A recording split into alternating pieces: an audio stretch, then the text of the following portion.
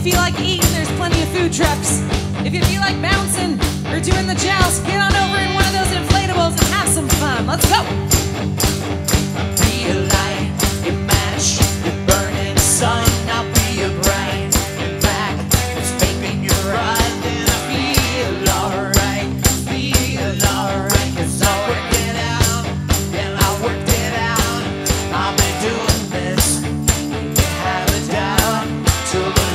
Tower, till the Love Tower.